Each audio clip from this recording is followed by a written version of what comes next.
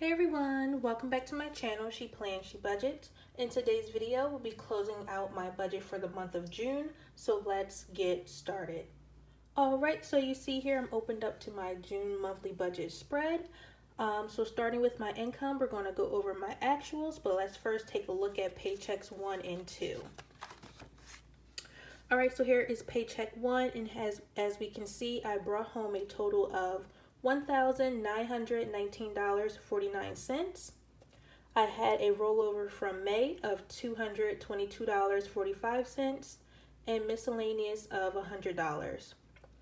For paycheck two, you can see here that I brought in $1,919.50 and I had a miscellaneous of $340.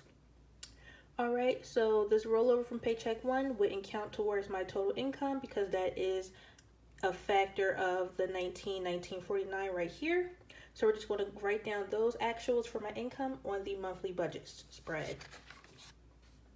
All right, so paycheck one again was an actual of $1,919.49.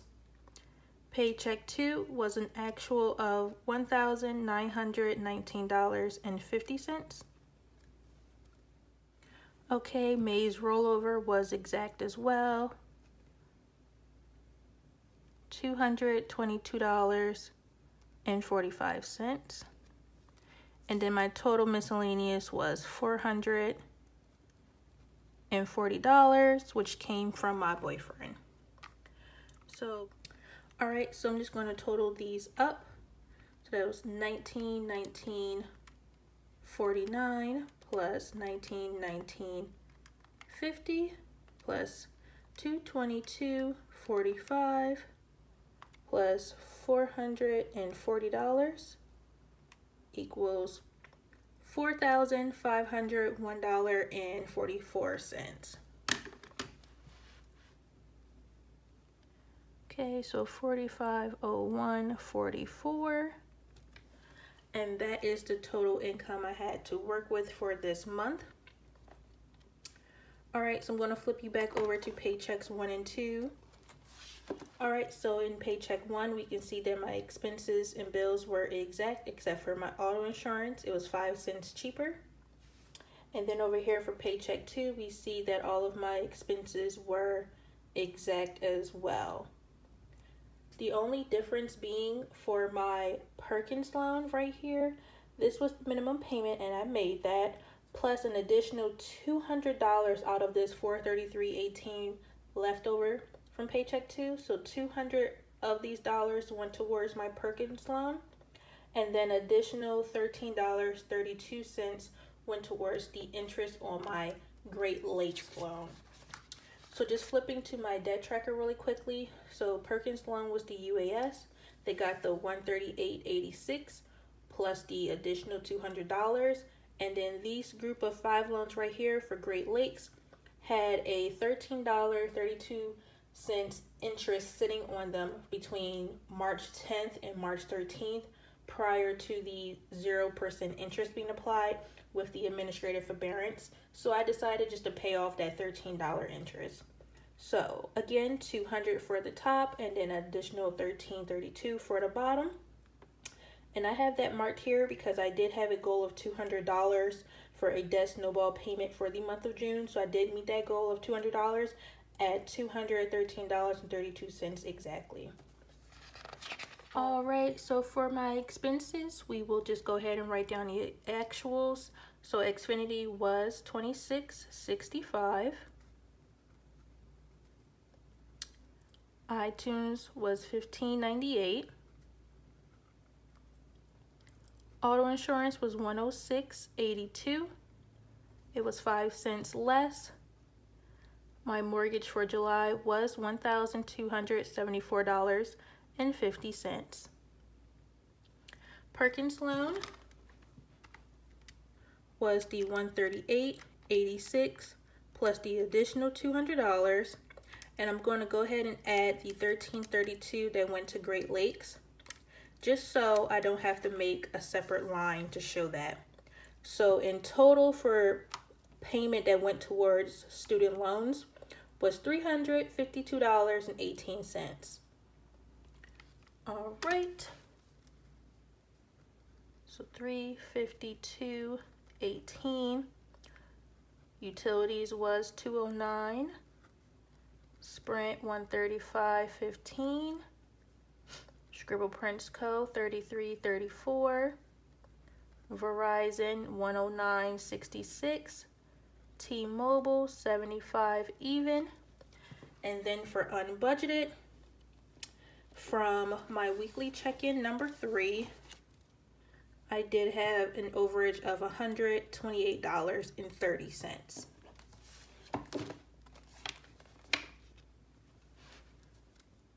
So 128.30.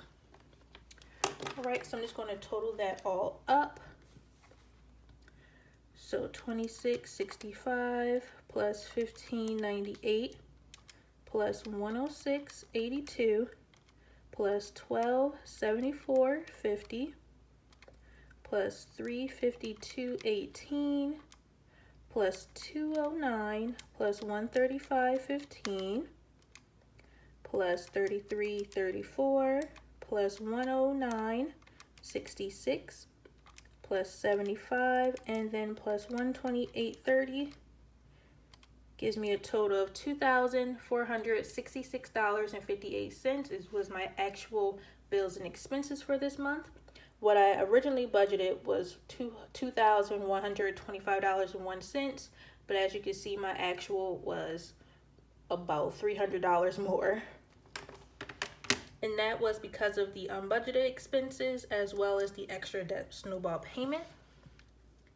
So again, my total was $2,466.58. All right, so next for my um, cash-ins savings, we do know from my cash envelope stuffing video that I did spend, or not spend, but I did stuff $590 as well as I stuffed my cash envelopes for $725 and from paycheck one plus paycheck two, I did give myself a total of $500 for personal spending. All right, so there was no variance here. So this total is still the same at $1,815. All right, so bringing down my totals, my total income for the month was $4,501.44. Total bills and expenses was $2,466.58 and cash and savings was $1,815 even.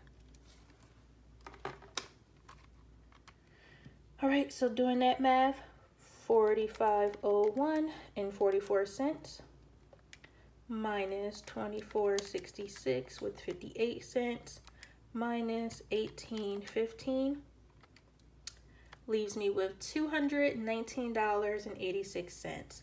And that number should look familiar to you all if you have seen my July's monthly budget. That amount will be carried into July as a rollover amount. So I am left with a total of $219.86. All right. All right, so that is the ending for my June monthly budget. I am rolling into July with $219.86. And then for my weekly check-in page from week um, from week number four, um, feel free to check out this video if you haven't seen it already. And my ending balances for my cash envelopes is I have $100 for gas, $20 for laundry, $144 for groceries and household. And I will be rolling into July with a personal spending of $187.41. And then for sinking funds, I'll be rolling over $3,012. And then we can go ahead flip to my sinking funds page where we can verify this amount. Because I already counted the cash envelopes with you all in my week four check-in video, um, I'm only going to just count the sinking funds for today.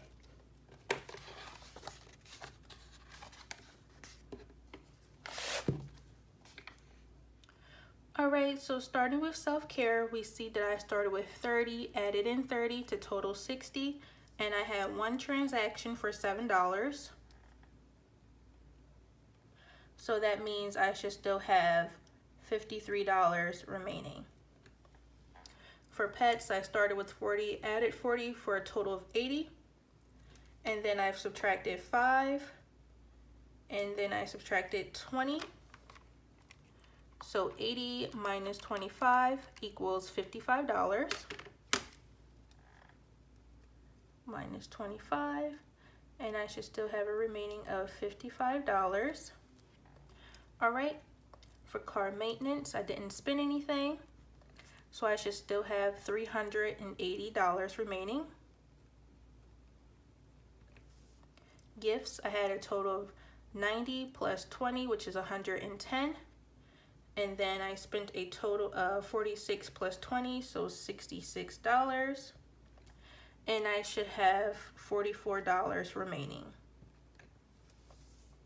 Vet and grooming, I didn't spend anything. So I should still have 260 plus 20, which is 280. Vacation, I didn't spend anything. So I should have 900 plus 150, which is $1,050. My 30th birthday, I had 640, added 100, didn't spend. So I should, so I should still have $740 remaining. Same thing for my boyfriend's birthday. I added in $100, so I should still have $100 because I didn't spend anything. Home projects, nothing spent. So 260 plus 50 is $310. Then lastly for lawn and care, I added 40 to a starting balance of 40 to equal 80. And then I spent 40 and another 40. So I spent all that was added in there. So that is now zero. And I got everything, okay. So for this month, I spent a total of 40 plus 5 plus 20 plus 7 plus 40 plus 46 plus 20. I spent a total of $178. Okay, and let's just see this math going across. So 2600 plus 590 equals 3190 and then subtracting 178 is $3,012.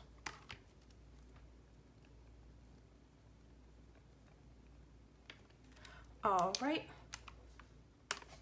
All right, as you know, I keep my sinking funds and cash envelopes in this mini happy planner that I did hole punch myself. And my envelopes are from Mojo Cuts on Etsy.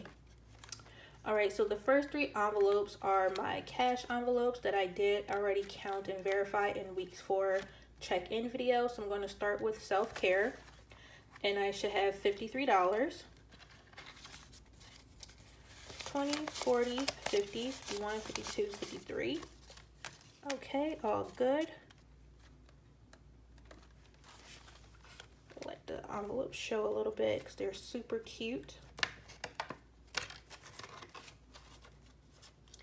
So self-care is all there. Pets should have 55. So 20, 30, 40, 45, 50, 55.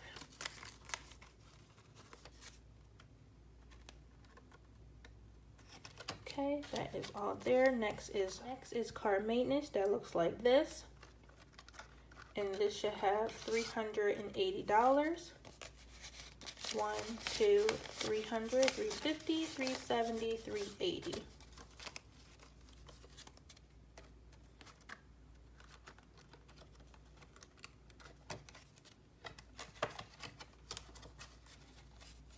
All right, next is gifts.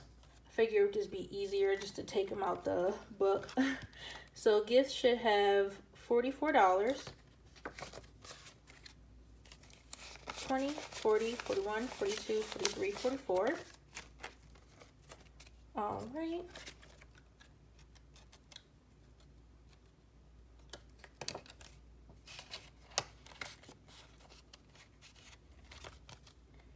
All good there.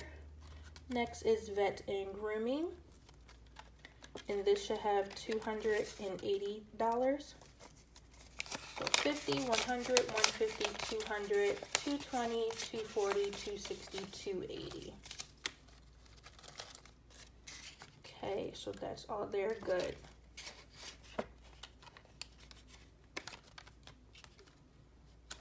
Next is vacation, which is this envelope right here.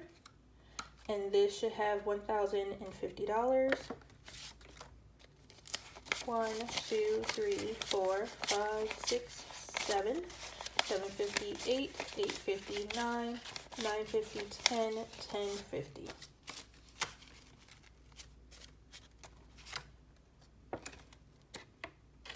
Let me know down in the comments if you guys have been traveling so far since some of the states have been reopening or if you have any plans to travel in the near future. Next is my birthday, which should be $740. One, two, three, four, five, six, seven, seven twenty, seven forty. And I'm so excited for my birthday coming up in November. Got a few more months to save for that and then got to get to planning. My boyfriend's birthday is actually in the same month. His should have a $100 right now, and you can pretty much see that it's a 100 so I'll leave that alone. His birthday and I, his birthday and my birthday are actually in the same month is what I was trying to say. so next is home projects, which should be $310. So 50, 100, 150, 200, 250, 300, 310.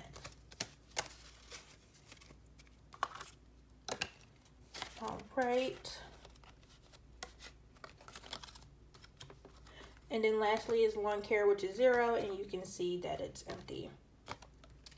All right, so again, all of these numbers should equal the $3,012, which will get rolled into July. All right, the last envelope to show you that is not a part of my sinking funds is my miscellaneous that should still have $100. So 20, 40, 60, 80, 90, 100. I'm going to keep this money access accessible because I may need to use it to cover my expenses in July. If not, I'll probably eventually roll it into a debt snowball payment. I'm just trying to be um, cautious because like I mentioned in a previous video a little while back, um, July, August, and September are my most expensive months for my budget. Um, so I just wanted to keep this money in case I need it for any future expenses. But if I end up not using it by September, it will for sure get thrown to debt because I don't know, I don't really have another reason for it, but that's why it's in my miscellaneous folder and not, I mean, envelope and not my debt snowball envelope because I haven't committed to throw it to a debt snowball just yet. And then like always that I mentioned, my savings is on my bank account, but I do like this envelope. So in case I want to put anything to savings that was rolled over from like a cash envelope or something, which would be gas, groceries, or laundry, um, I will put it in here and then have it deposited into my savings account. And then the last envelope in the back is eating out that I'm currently not dedicating money to, although you see that I eat out plenty. I'm just not um, budgeting or setting aside money for this envelope. I was like literally before the pandemic, but that was like the only thing I cut, sort of, once the pandemic hit. I pretty much try to keep everything else the same for as much as I can. And July is starting to look a little tough. So fingers crossed everything works out and I can keep budgeting everything as I have planned. But if anything needs to give, one thing I have thought about um, not funding is vacation because I normally do $150 a month. I don't have any current vacation plans in the near future, although I would like to go somewhere, but I'm not going to um, jump the gun just in case, you know, things aren't quite as safe as it may seem from the news, the TV, the government, whatever. So, because I don't have any right now plans, I could skip this um, for my next cash stuffing if, you know, money doesn't look right for July. Or if I even do end up stuffing it, I can take it out or and do something like that just to make ends meet. But fingers crossed for right now. And then my last page is my debt tracker that I kind of sort of went over a little bit. So I have six loans remaining. I made a payment on uh, this loan, which is my UAS loan with, or my Perkins loan with UAS. I made the minimum of 138.86 plus an additional 200, and then I made an interest loan only to Great Lakes, which are these five loans right here that um, had an interest between March 10th and March 13th before the administrative forbearance of $13.32 and that is what's reflected right here to 1332 because I had a goal of $200 extra debt snowball payment for June and I have that same goal for July. For my savings tracker here, I decided not to put any money aside to savings for the month of June. I do still have my starter emergency fund of $1,000 and I have a debt savings of $400 which would be from money that I had from between March and May. So March, April, and May. Majority of it is from my income tax return I received in March, and then the rest of it is from my paychecks between March and May. The total of $4,000 and I call this a debt savings because this is money that I would have thrown to debt had it not been to, for the pandemic. But because of the pandemic, I decided to keep this money accessible so that um, I could use it in a case of an emergency or anything like that. And then once the pandemic is over, I'll probably put this money towards debt and then I'll be back down to my starter emergency fund of a $1,000. But right now I have a total of $5,000 um, accessible on hand for savings. All right, so then the last page I'm going to take you to is my calendar view, which is right here. And I'm going to move my expense tracker legend to July. So here you can see all of my expenses and no spends for the month. I had a total of 1, 2, 3, 4, 5, 6, 7, 8, 9, 10, 11, 12, 13, 14 no spend days, which is pretty cool. So about every other day I spent some money, which isn't bad. Um, because as long as it's within budget is good, minus, you know, week three. And you guys, if you see my week three video, you know what was going on that week and how I got into a little bit of trouble. But anyway, overall, I still feel like I had a good month. All bills were paid, which is always a good thing. And yeah, I enjoyed myself a little bit and I was able to start um, throwing extra money towards debt. So I will count June as a good month overall. So that is basically everything that I have for you all. I want to thank you all so much for watching today's video. Please be sure to like, comment, and subscribe down below. And I will see you all in my July videos coming up. Bye!